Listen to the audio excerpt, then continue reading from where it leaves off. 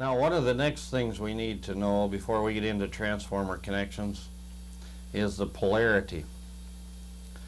When we drew out a vector on our high side systems, that vector represented polarity. So we have to maintain proper polarity when we make our transformer connections when we go from the high to the low side. Now, if I have a a transformer. And I'll draw a single phase transformer here. And I have a high side and a low side. Let's just use the two bushings to, to start with. Uh, the identification of the terminals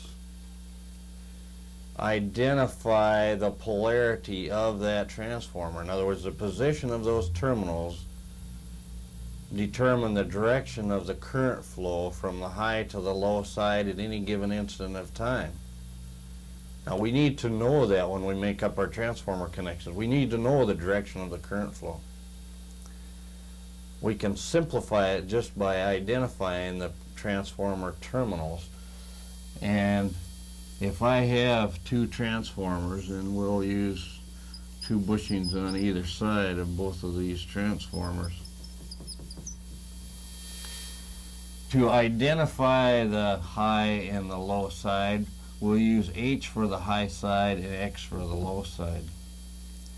Now we identify our transformers for additive and subtractive polarity. The difference in the two is going to be the position of the terminals on the low side. Now, if I have a subtractive transformer, we'll identify the terminals for this one. If I have a subtractive transformer here, then my H1 terminal will be on this side, my H2 over there. If this is an additive transformer over here, my transformer terminals on the high side are going to be the same. Now, in this particular transformer, our subtractive transformer, the terminals are going to be such now I've got two terminal down here. That would mean then that I would have X1 here and X2 over here.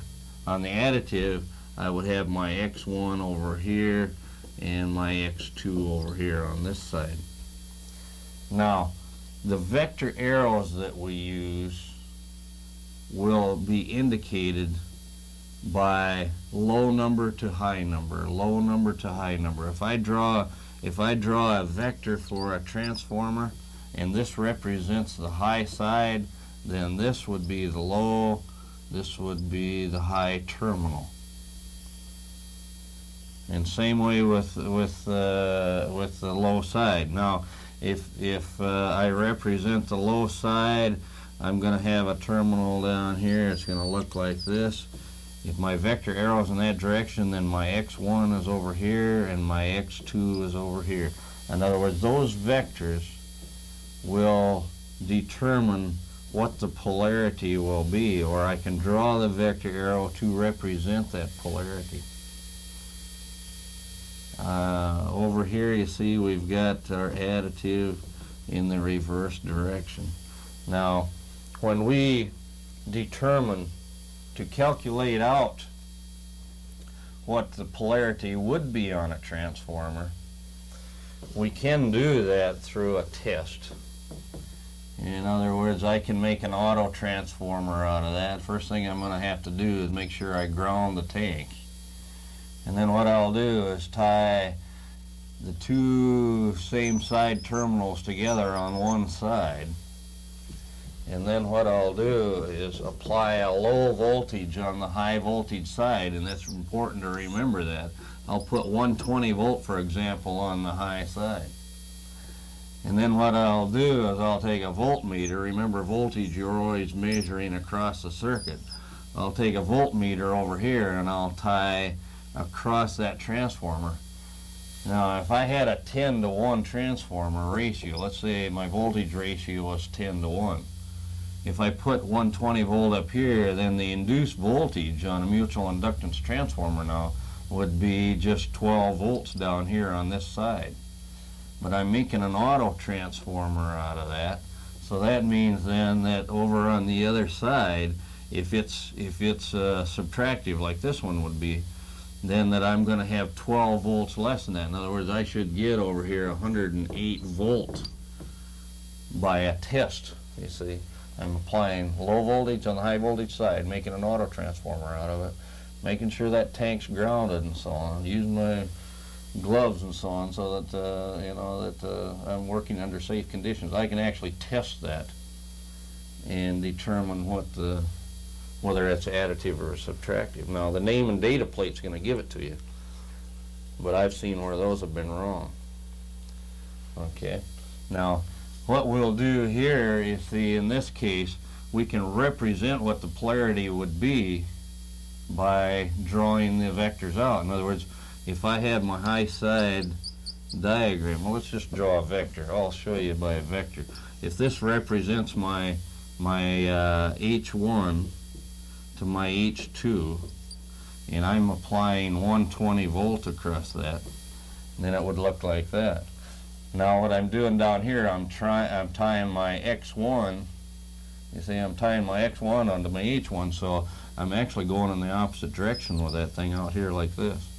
Now, I haven't got these to scale, but I'm tying X1 here to X2 over here. Now I know that that vector represents 12 volts.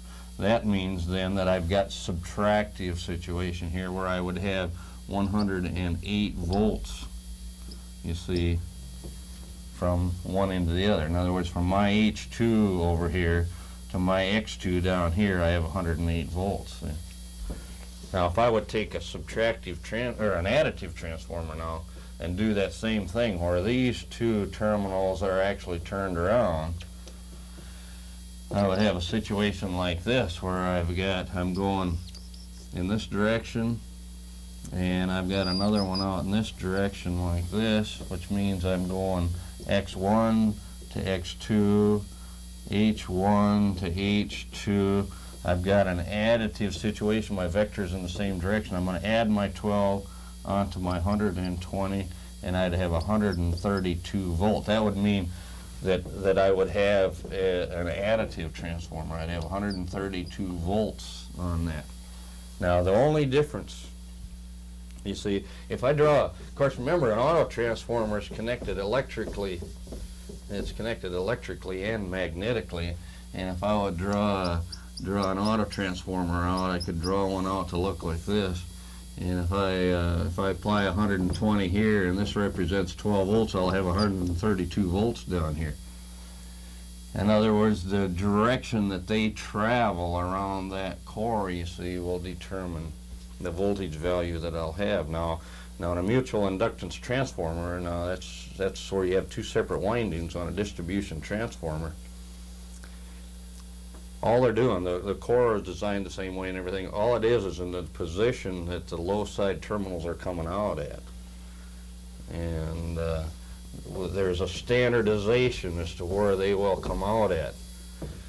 Now we need to know when we to, to diagram our transformer connections, we don't particularly have to, uh, you know, we don't we don't have to know whether it's additive or subtractive polarity. But when we come to draw it out on the transformers themselves, then we need to know which terminal is X1, which is X2, X3, and so on. Um, when we there's a standardization for that, and the two parameters that we use are 9,000 volt and 200 kVA. In other words, this is the rating, this is a capacity, and this is a coil voltage on the high side. Now those, you don't have to worry about these values being inclusive because there is no such thing as a 9,000 volt transformer or a 200 kVA transformer. Now, NEMA standard states that the, to be additive in polarity, the transformer has to be below 9,000 volt for a coil voltage and below 200 kVA. So all your smaller transformers, as far as capacity and, and, uh, and coil voltages are gonna be, are gonna be additive. Now, either one or the other above will make it subtractive. So that I could have a coil voltage above and uh, a rating below and it'll still be subtractive. Or I could have a, a KVA above and, and a voltage below, it'll still be subtractive. So that you have to know before you you can make your transformer connections.